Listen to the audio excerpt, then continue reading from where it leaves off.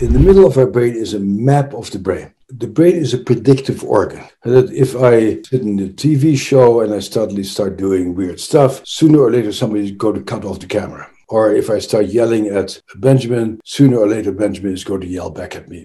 I know that certain actions have certain consequences on the basis of what I've learned. Something may suddenly happen to you. You'll get raped, you'll get destroyed, you get made to feel completely helpless. Your brain starts getting ready for something terrible to happen. You start spending your energy on trying to control yourself before that energy, that explosive emergency part of your brain blows up and you become a defensive person, you spend a lot of time trying to keep control of yourself. The moment that that primitive part of your brain basically has no cognition, there's nothing thinking, there's an automatic animal type response. The moment it feels like, oh my God, it's happening again, you start acting as if you're getting hurt, as if you're getting assaulted, etc., etc.